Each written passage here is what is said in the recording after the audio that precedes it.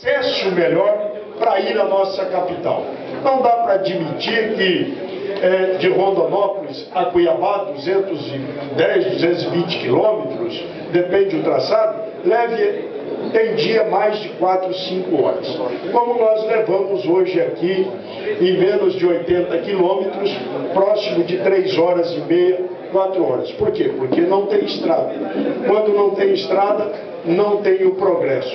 Quando não tem o progresso, não tem igualdade. Existem as desigualdades, como eu vi ali hoje. Parei na comunidade do Brejinho, é isso? Brejinho, e lá as pessoas dizem, um cidadão muito simples, de 74 anos, diz, meu pai nasceu aqui, eu nasci aqui, meus filhos todos aqui, na terra do pai da comunicação, e nós não comunicamos com ninguém. Nem um celular nós podemos ter, porque não tem sinal.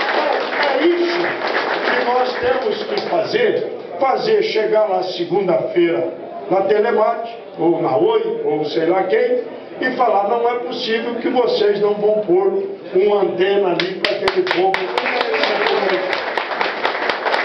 O Arizona, que todos os dias, meu amigo Arizona, hoje eu vi ele, não conheci, eu vi, estava gordo, hoje está aí. E ele é um lutador pelo desenvolvimento do turismo.